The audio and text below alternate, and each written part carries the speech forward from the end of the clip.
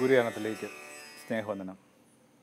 ചെറുപ്പത്തിൽ ഒരു കൗതുകത്തിന് വേണ്ടി അല്ലെങ്കിൽ മാതാപിതാക്കന്മാരുടെ താല്പര്യത്തിനൊക്കെ ആയിട്ട് കുറച്ച് നൃത്തച്ചുവടുകൾ നിങ്ങൾ പരിശീലിച്ചിട്ടുണ്ട്. എന്നിട്ടും നൂറ്റിക്ക് തൊണ്ണൂറ്റൊമ്പത് അത്തരം കാര്യങ്ങളിൽ പരിശീലനം കിട്ടിയ മനുഷ്യരെ പോലെ നമ്മളാരും നർത്തകിയോ നർത്തകരോ ഒന്നും ആയി മാറിയിട്ടില്ല. എന്നാലും വാർദ്ധക്യത്തിൽ ചില കിളും തോർമ്മകൾ കൂട്ടുവരുന്നുണ്ട്. അപ്പോൾ അത്തരം ചില സായന്തനങ്ങളുടെ ഓർമ്മയ്ക്ക് വേണ്ടി പഠിച്ച ചുവടുകൾ എന്തെങ്കിലുമൊക്കെ ഇപ്പോഴും സ്മൃതിയിലുണ്ടോ എന്ന് അറിയാനായിട്ടൊന്ന് ഉരച്ചു നോക്കാൻ വേണ്ടി വാതിലൊക്കെ ഒന്ന് മെല്ലെ ചാരി ഒരു സന്ധിയിൽ ആ കുട്ടിക്കാലത്തെ നമസ്കരിച്ചുകൊണ്ട് നിങ്ങൾ ചില ചുവടുകൾ വെക്കുന്നു. അത്ര എളുപ്പമല്ല ഈ പ്രായത്തിൽ. കിതച്ച് നിൽക്കുമ്പോൾ ഇരുട്ടിൽ നിന്ന് നിങ്ങൾക്ക് വേണ്ടി ഒരു കരഘോഷം മുഴങ്ങുന്നു. ആരോ നിങ്ങളെ കണ്ടു നിൽപ്പുണ്ടായിരുന്നു. ആരോ നിങ്ങളുടെ ചുവടുകളിൽ സംതൃതനായിട്ടുണ്ട് അപ്ലോസ് ഓഫ് ഹെവൻ സ്വർഗത്തിന്റെ കരഘോഷം. ഗിരിപ്രഭാഷണത്തെക്കുറിച്ചുള്ള ഒരു പുസ്തകത്തിന്റെ ശീർഷം അങ്ങനെയാണ് നിങ്ങളുടെ ആ സ്വകാര്യ ജീവിതത്തെ അതിന്റെ വ്യഥകളെ അതിന്റെ പാളിച്ചകളെ അതിന്റെ ആസ്പിറേഷനൊക്കെ കണ്ടു നിൽക്കുന്ന ആരോ ഒരാൾ ഇരുട്ടിൽ നിന്ന്. നിങ്ങൾക്ക് വേണ്ടി ഇനിയും കരഘോഷം മുഴക്കുന്നുണ്ട്. അപ്പോൾ ഒടുവിൽ അവനവന്റെ ജീവിതത്തിന് നിർണായകരമായ ചോദ്യം ഇതാണ്. എന്നെ കണ്ടുകൊണ്ടിരിക്കുന്ന സ്വർഗം എന്റെ മീതെ കരഘോഷം മുഴക്കുന്നുണ്ടോ ഇല്ലയോ? അതിനാവാത്ത വിധത്തിൽ എന്താണ് ആഗ്രഹിക്കുന്നതെന്ന് സ്വർഗം ആഗ്രഹിക്കുന്ന പോലും പിടുത്തം കിട്ടാത്ത വിധത്തിൽ ആരവങ്ങൾ കൊണ്ട് ജീവിതവും ലോകവും ഒക്കെ മുഖരിതമാവുകയാണ്. അതിനിടയിൽ അവനവന്റെ നിശബ്ദതയിൽ ആ ഗുരുവിന്റെ മൃദുമർമ്മരങ്ങൾ മന്ത്രങ്ങൾ കേൾക്കാൻ തുടങ്ങിക്കഴിയുമ്പോൾ ഉണ്ടാകുന്ന വ്യത്യാസം. ക്രിസ്ത്യാനിറ്റി ഒരു പ്രായോഗിക മതമായി ചുരുങ്ങിപ്പോയത്. അതിനാരെയും ആകർഷിക്കാൻ കഴിയാതെ പോയത്. ഒന്നിനെയും വെല്ലുവിളിക്കാൻ കഴിയാതെ പോയതൊക്കെ അവന്റെ ഏറ്റവും ഹൃദയസ്പർശിയായ ചില മൊഴികൾക്ക് കാതോർക്കാൻ കഴിയാതെ പോയതുകൊണ്ട് നമ്മൾ ഈ നേരത്തെ സൂചിപ്പിച്ച കണക്ക് ഇങ്ങനെ ആരവങ്ങളിൽപ്പെട്ടു പോവുകയാണ് ഇവിടേക്ക് വരുമ്പോൾ ഒരു ദേശത്തിന്റെ വലിയൊരു കേളികേട്ട ഒരു കാര്യം കഴിഞ്ഞിട്ട് മനുഷ്യർ തെരുവീതിയിലോട്ട് ഇറങ്ങിത്തുടങ്ങിയിട്ട് നേരമാണ്. ഇങ്ങനെ ചുറ്റിനും വിചാരവങ്ങളും ആഘോഷങ്ങളും ആർപ്പുവിളികളും ഒക്കെ ആയിട്ട് വള്ളംകളി കഴിഞ്ഞ് പോകുന്ന മനുഷ്യ പക്ഷേ ഈ രാത്രിക്ക് ശേഷം എന്നാ ചെയ്യും? എല്ലാ ഉത്സവങ്ങൾക്ക് ശേഷം ഒരു ഉത്സവപ്പിറ്റെന്നുണ്ട്. ആ ഉത്സവപ്പിറ്റെന്ന് പറയുന്ന ഒരു നേരത്താണ് പലതും നമ്മൾ ആശങ്കപ്പെടുത്തുക. അപ്പോൾ നമ്മൾ ബലമുണ്ടെന്ന് കരുതിയ കാര്യങ്ങൾ അന്തരീക്ഷത്തെ മുഖരിതമാക്കിയെന്ന് കരുതിയ പ്രാർത്ഥനാ മന്ത്രങ്ങളൊക്കെ നമുക്ക് കൂട്ടായിട്ട് വരുമോ? കുറേ കൂടി അവനെ മജ്ജയ്ക്ക് വേണ്ടിയാണ് നമ്മൾ ഇക്കാലങ്ങളിൽ പ്രാർത്ഥിക്കുക. ഒരു വളരെ ഹൃദയസ്പർശിയായ ഒരു അനുഭവം ഒരു മകൾ അച്ഛനെക്കുറിച്ച് എഴുതിയത് വായിച്ചു. അല്ലെങ്കിൽ സ്ട്രോക്കായിട്ട് കുറച്ച് കാലം കുറച്ചധികം കാലമായിട്ട് കിടക്കയില്ല. പക്ഷെ ആകപ്പാ അകപ്പാട് ആവശ്യപ്പെട്ടൊരു കാര്യം ഒരു കസേര ഇങ്ങനെ തന്റെ കിടക്കയോട് ചേർത്ത് വെക്കുക എന്നുള്ള ആ കസേരയിൽ അയാൾ തന്റെ ആചാര്യനെ ആ നസ്രത്തിൽ ആ മരപ്പണിക്കാരനെ സങ്കല്പിച്ചു വെച്ചു. എന്നിട്ട് ഇങ്ങനെ സംഭാഷണങ്ങളിൽ ഏർപ്പെട്ട് ആശങ്കകൾ പങ്കുവെച്ച് സാന്ത്വനം അറിഞ്ഞൊക്കെ ആയിരുന്നു അയാളുടെ അവസാനത്തെ വളരെ ദീർഘമായ ഒരു കാലഘട്ടം. ശയ്യയിലോട്ട് തന്നെ കുരുങ്ങിപ്പോയ ചുരുങ്ങിപ്പോയ ഒരു കാലഘട്ടം. അവൾ ഇങ്ങനെയാണ് അച്ഛനെക്കുറിച്ച് എഴുതുന്നത്. അച്ഛൻ മരിക്കുമ്പോൾ അച്ഛന്റെ ശിരസ് അച്ഛൻ പില്ലോട് ചേർത്തല്ല ഈ കിടക്ക് ഈ തലേനോട് ചേർത്തല്ല കിടന്നിരുന്നത് മറിച്ച് അതിങ്ങനെ ചരിഞ്ഞ് ഇതേ കസേരയിലോട്ട് ചാഞ്ഞ് കിടപ്പുണ്ടായിരുന്നു. അങ്ങനെയാണ് ആ രീതിയിലാണ് അച്ഛനെ മരിച്ചതായിട്ട് മകൾ കാണുക. ഒരുപക്ഷെ കാലാകാലങ്ങളായിട്ട് അയാളുടെ ഹൃദയത്തിൽ നിന്ന് മന്ത്രണങ്ങൾ കേട്ട ഒരു വയോധികനായൊരു മനുഷ്യൻ തന്റെ അവസാനത്തെ നേരത്ത് അയാളുടെ മടിത്തട്ടിയിൽ ഇങ്ങനെ ചാഞ്ഞു കിടന്ന് കടന്നു പോയതിന്റെ അടയാളം കൂടി ആയിരിക്കാം അത്. അല്ലെങ്കിൽ അങ്ങനെ തന്നെയാണ് അത് അടയാളപ്പെടുത്തിയ മകൾ പറയാനായിട്ട് ആഗ്രഹിക്കുക. കുറേ കൂടി അവന്റെ ഹൃദയമന്ത്രണങ്ങൾക്ക് കാതോർക്കുക. അഷ്ടഭാഗ്യങ്ങളെ ശ്രദ്ധിക്കാതെ നമ്മൾ എങ്ങോട്ടാണ് ഇത്രയും വേഗത്തിൽ ഓടിപ്പോവുക? ആൾക്കൂട്ടത്തെ കണ്ടപ്പോൾ അവൻ പിൻവാങ്ങി മലമുകളിലേക്ക് പോയി പഠിപ്പിച്ചെന്ന് പറഞ്ഞിട്ടാണ് അഷ്ടഭാഗ്യങ്ങൾ ആരംഭിക്കുക. ഐശ്വര്യങ്ങൾ എല്ലാവരും തിരയുന്നത്. അനുഗ്രഹം ആഗ്രഹമില്ലാത്ത ആരുണ്ട്? ഏതെങ്കിലും തരത്തിൽ ചെറിയ മനുഷ്യരിൽ നിന്ന് അവർക്ക് ബോധ്യമുള്ളവരോട് പോലും നമ്മൾ അനുഗ്രഹത്തിന് വേണ്ടിയൊക്കെ തലകുനി ചിന്തിക്കാറില്ലേ? എത്രയോ ഇടങ്ങളിൽ എത്രയോ മനുഷ്യരുടെ അനുഗ്രഹങ്ങൾക്ക് വേണ്ടി നമ്മൾ കാതോർക്കും ചിലപ്പോൾ അവർ തന്നെ അവരുടെ ബലക്കുറവൊക്കെ നിങ്ങളോട് പറഞ്ഞു പറഞ്ഞെന്നിരിക്കും. നമുക്കതിനുള്ള ഒരു ധാർമ്മിക അവകാശവും ബലവും ഇല്ലെന്നൊക്കെ പറഞ്ഞ് ഒഴിവാക്കാൻ ശ്രമിക്കുമ്പോൾ പോലും. അപ്പോൾ തെളിഞ്ഞും മറിഞ്ഞുമൊക്കെ മനുഷ്യൻ അനുഗ്രഹങ്ങൾക്ക് വേണ്ടി കാക്ഷിക്കുന്നുണ്ട്. അവനവന്റെ ജീവിതം അനുഗ്രഹത്തിലേക്കാണെന്ന് തിരിച്ചറിയാനായിട്ട് വേദപുസ്തകം തരുന്ന ഏകകത്ത് നമ്മൾ എന്തുകൊണ്ടാണ് അടയാളപ്പെടുത്താത്തത്? എന്തുകൊണ്ടാണ് നമ്മൾ ശ്രദ്ധിക്കാതെ പോകുന്നത്? എന്തുകൊണ്ടാണ് നമ്മൾ അതിനെ അതിനെ മനസ്സിൽ വെച്ചുകൊണ്ട് നമ്മൾ ചില കാര്യങ്ങൾ ഉരച്ചു നോക്കാത്തത്? അഷ്ടൈശ്വര്യങ്ങളെ കുറച്ചുകൂടി ആ ഗൗരവമായിട്ട് ശ്രദ്ധിക്കേണ്ട ഒരു വൈകിയ വേളയായത്. ഇവർ ലോകത്തെ കീഴ്മേൽ മറിക്കുന്നു എന്നൊക്കെയായിരുന്നു ആദിമ ക്രിസ്തീയ ധർമ്മത്തെക്കുറിച്ച് അക്കാലത്തിന്റെ സാക്ഷ്യം. ചീട്ടുകളി കണക്കാ. ലോകം പ്രധാനപ്പെട്ടെന്ന് കരുതിയ ചീട്ടുകളൊക്കെ ഈ കശകി കുത്തിന് ഈ നസ്രത്തിൽ ആ മരപ്പണിക്കാരന്റെ കാലത്തിന് ശേഷം ആ ചീട്ടുകളൊക്കെ ഇങ്ങനെ താഴോട്ട് വന്നു. ലോകം പ്രധാനപ്പെട്ടായിട്ട് കരുതുന്ന കാര്യങ്ങൾ എന്തൊക്കെയാണ്? ധനം വളരെ പ്രധാനപ്പെട്ടായിട്ട് കരുതുന്നു. വിരുന്നുകളും ആഘോഷങ്ങളും പ്രധാനപ്പെട്ടായിട്ട് കരുതുന്നു. മനുഷ്യരുടെ പ്രശംസ വളരെ പ്രധാനപ്പെട്ടതായിട്ട് കരുതുന്നു. അപ്പോൾ ഇങ്ങനെ വളരെ പ്രധാനപ്പെട്ടെന്ന് കരുതുന്ന എല്ലാ കാര്യങ്ങൾക്കകത്തും അത്രയും ആദരവോ സ്നേഹമോ പവിത്രതയോ ഈ പുതിയ നിയമം കൽപ്പിച്ചു കൊടുക്കുന്നില്ല. അതിനൊക്കെ മുന്നോടിയായിട്ട് മുഴങ്ങുന്ന വിശേഷണം ഓറ്റു എന്നാണ് നിങ്ങൾക്ക് ദുരിതം എന്നാണ് പറയുക.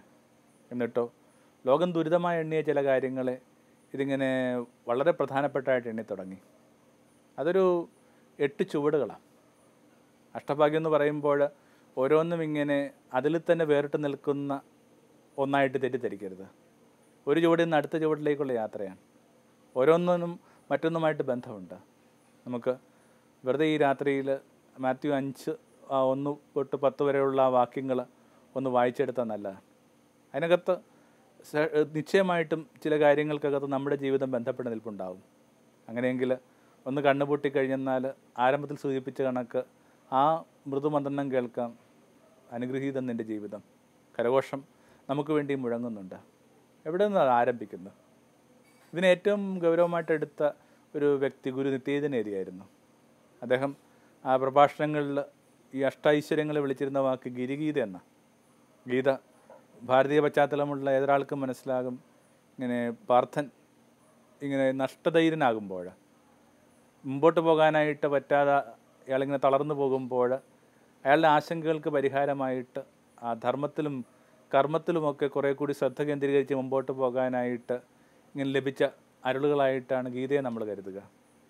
ഇത് മറ്റേതോ ദേശത്തു നിന്ന് മുഴങ്ങിയ മലമുകളിൽ നിന്ന് മുഴങ്ങിയ ഗീതയായിട്ടൊക്കെയാണ് ഗുരുനിത്യ ഈ ഇതിനെ സങ്കല്പിച്ചെടുത്തത് ഇങ്ങനെ ഒരാളിങ്ങനെ പിന്നോട്ട് പോയെന്ന് പറഞ്ഞത് ആരംഭിക്കുന്ന മലമുകളിൽ ആൾക്കൂട്ടത്തെ കണ്ടപ്പോൾ ഇങ്ങനെ പുറകോട്ട് മാറി ഒരാൾ പോവുകയാണ്.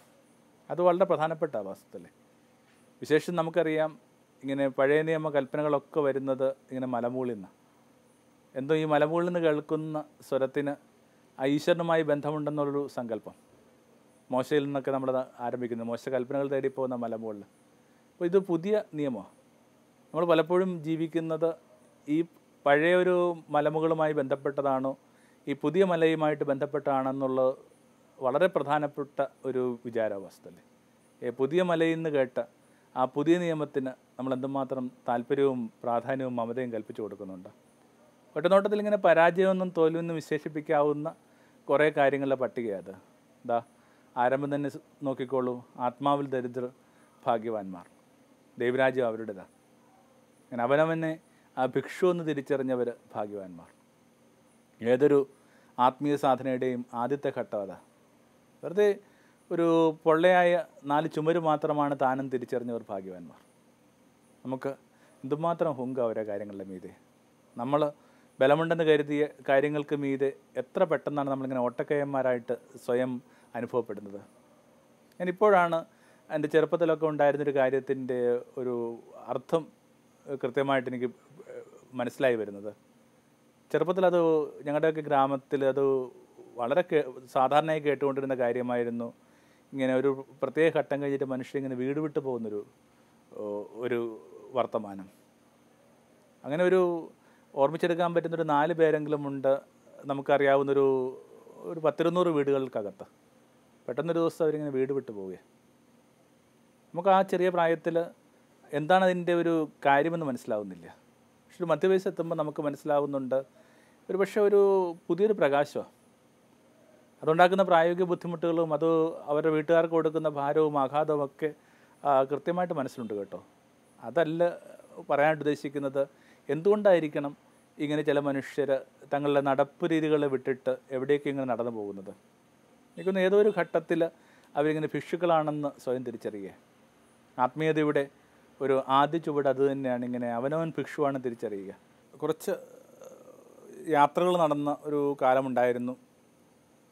അത്തരം വട- വടക്കേനിൽ തന്നെ അത്തരം യാത്രകളിൽ എന്നെ ഏറ്റവും കൂടുതൽ അമ്പരപ്പിച്ചിട്ടുള്ളതും കൗതുകപ്പെടുത്തിയിട്ടുള്ളതും ഒരുപക്ഷെ മനസ്സുകൊണ്ട് ഇപ്പോഴും ക്ഷണിച്ചുകൊണ്ടിരിക്കുന്നതും ആയ മനുഷ്യർ ഈ അലഞ്ഞടക്കുന്ന മനുഷ്യർ അവർ നിങ്ങൾ അവരുടെ ഒരു ഭൂതകാലത്തെക്കുറിച്ചൊന്നും നിങ്ങളുടെ അടുത്ത് പറയാനായിട്ട് താല്പര്യപ്പെടുന്നില്ല. ഭൂതകാലത്തിൽ നിന്നിങ്ങനെ വിടുതൽ കിട്ടിയ മനുഷ്യ കണക്ക് വർത്തമാനത്തിന്റെ ചില നിമിഷങ്ങളിൽ മാത്രം ജീവിച്ച ഭാവിയെക്കുറിച്ച് ആശങ്കയില്ലാതെ നടക്കുന്ന ഈ മനുഷ്യർ അതിൽ ആദ്യം കണ്ടുമുട്ടിയ ഒരു വ്യക്തി തന്നെ നമ്മൾ വല്ലാതെ ഒന്ന് തൊട്ടു. അയാൾക്ക് വിശക്കെന്ന് പറഞ്ഞു. അപ്പോൾ നമ്മൾ എന്റെ ഓർമ്മ ശരിയാണെങ്കിൽ അന്നിങ്ങനെ ഒരു കുറച്ച് വർഷം മുമ്പാണ് ഒരു ഇരുപത് വർഷം മുമ്പാണ്. ഒരു ഇരുപത് രൂപ ഞാൻ അയാൾക്ക് കൊടുക്കുന്നു. കുറച്ച് കഴിയുമ്പോൾ അതിലൊരു എട്ട് രൂപയായിട്ട് തിരിച്ചു വന്നിട്ട് പറയുന്നു പന്ത്രണ്ട് രൂപ വരുന്നുള്ളൂ പൂരിയും ഈ പറയണ മസാലയും കൂടി ചേർന്നിട്ട്. ബാക്കി ഇരുന്നോട്ടെ. നമ്മൾ കൊടുത്ത ആ ഒരു പണം പോലും അവർക്ക് അവരുടെ ആവശ്യത്തിൽ കവിഞ്ഞ് ഒരു ചില്ലിത്തുട്ടിനോട് താല്പര്യമില്ല. ഇത്തരം മനുഷ്യർ എനിക്കൊന്ന് ഭൂമിയിൽ വെളിച്ചം കിട്ടിയ എല്ലാ മനുഷ്യരും ആദ്യം തിരിച്ചറിയേണ്ട വിചാരം ഇതാണ്. ഞങ്ങൾ വെറുതെ ഇങ്ങനെ സോ പൂവർ ഇങ്ങനെ ഞങ്ങൾ വെറുതെ ബഗേഴ്സ അള്ളാപ്പിച്ച എന്നൊരു വാക്ക് ഈ സൂഫി പാരമ്പര്യത്തിൽ ഒത്തിരി ഉപയോഗിക്കപ്പെടുന്ന ഒരു വാക്കാണ് നമ്മളിതിനു മുമ്പും ആ, ആ ഒരു കഥയൊക്കെ പരാമർശിച്ചിട്ടുണ്ട്.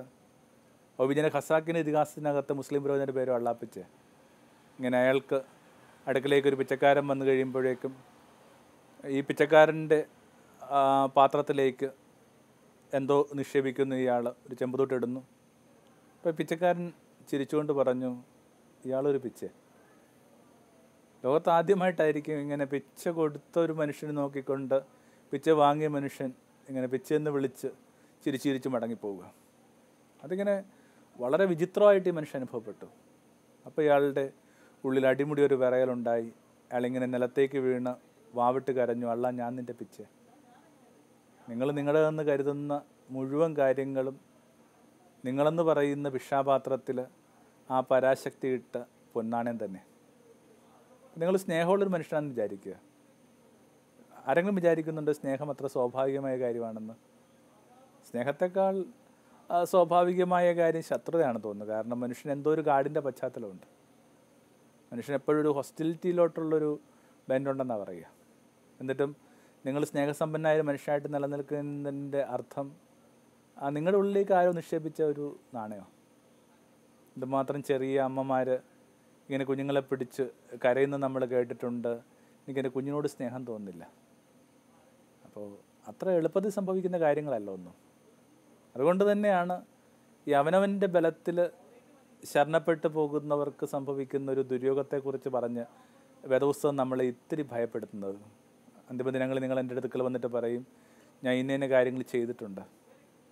നമ്മൾ ചെയ്യുന്ന കാര്യങ്ങൾക്ക് ഈ പ്രപഞ്ചത്തെ മുഴുവൻ സൃഷ്ടിച്ച ആ തമ്പുരാന്റെ മുമ്പിൽ എത്ര വലിപ്പമുണ്ടാവുമെന്നാണ് നിങ്ങൾ തെറ്റിദ്ധരിക്കുന്നത്? എന്തോ ആവട്ടെ. നമ്മൾ അതിനകത്താണല്ലോ ഈ ഹുങ്ക് പറയുന്നത്. ആരോ പറയുന്ന കണക്ക് ഇങ്ങനെ നിങ്ങളുണ്ടാക്കിയ ഒരു പേപ്പർ പ്ലെയിനുമായിട്ട് ഇങ്ങനെ ആരോയൊക്കെ ഉണ്ടാക്കത്തില്ല. അതുമായിട്ട് നിങ്ങൾ നാസയിൽ ചെല്ലുന്ന കണക്കാണെന്ന് പറയും അല്ലെങ്കിൽ ക്രയോൺസ് കൊണ്ട് നിങ്ങൾ ചെറിയ പ്രായത്തിൽ വരച്ച ചിത്രം പിക്കാസയെ കാണിക്കുന്ന കണക്ക്. അവനവന്റെ ബലത്തിൽ ഈ ശരണപ്പെട്ടുള്ള ഒരു ജീവിതം ആരെയും അധികാലം സഹായിക്കില്ല.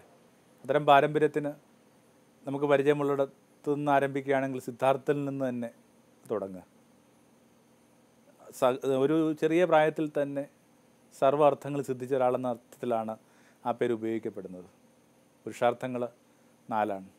അതൊക്കെ ഇളം പ്രായത്തിലെ ഗണ്യമായ തോതിൽ സ്വന്തമാക്കിയ ഈ മനുഷ്യൻ ഒരു മരച്ചുവട്ടിനതിൽ അടിയിലിരുന്ന് ബോധത്തിലാകുമ്പോൾ അയാൾ തന്റെ ജീവിതം ആരംഭിക്കുന്നത് ഒരു ചുരക്കാത്തൊണ്ടുമായിട്ടാണ് ബെഗിം ബൗട്ട് ആ ചുരക്കാത്തൊണ്ട് അയാളുടെ തന്നെ പ്രതീകം. മരിക്കുന്നതിന്റെ ആ പ്രഭാതത്തിലുള്ള എൺപത്തിനാലാം വയസ്സിലാണ് ബുദ്ധ മരിക്കുന്നത്. മരിക്കുന്ന പ്രഭാതത്തിലും ഇയാൾ ഈ ചുരക്കാത്തൊണ്ടുമായിട്ട് ഭിക്ഷാടനത്തിന് പോകുന്നുണ്ട്. അവനവന്റെ ജീവിതം ഒരു ഭിക്ഷുവിന്റേതാണെന്ന് തിരിച്ചറിയുമ്പോൾ ഉണ്ടാകുന്ന വ്യത്യാസം.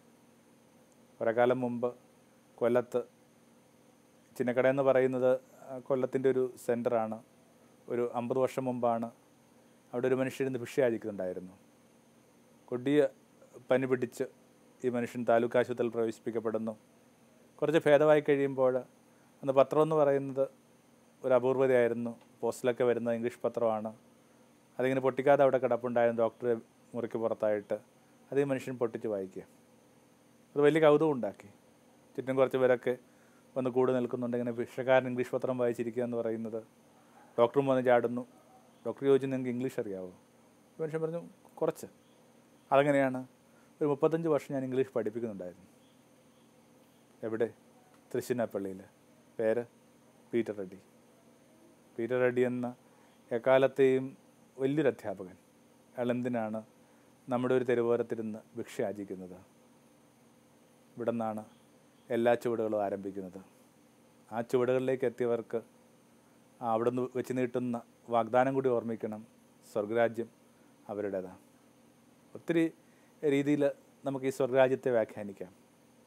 അതിൽ ഒരു പക്ഷേ ഒരേ ഒരു കാര്യം മാത്രം പറഞ്ഞ് നമുക്ക് ഈ ഒരു സായന്തന വിചാരം അവസാനിപ്പിക്കാം. സുഖായത്തിന്റെ ഒരു അർത്ഥം എന്ന് പറയുന്നത് ഈ വിസ്ഡം ഓഫ് ഗോഡ് ഈ ദരിദ്രർ എന്ന് പറയുന്ന മനുഷ്യർക്കാണ് ഏറ്റവും എളുപ്പത്തിൽ ഇങ്ങനെ ആ ദൈവികമെന്ന് വിശേഷിപ്പിക്കാവുന്ന ഒരു ജ്ഞാനത്തിന്റെ പൊൻപ്രഭ ഉണ്ടാവുക.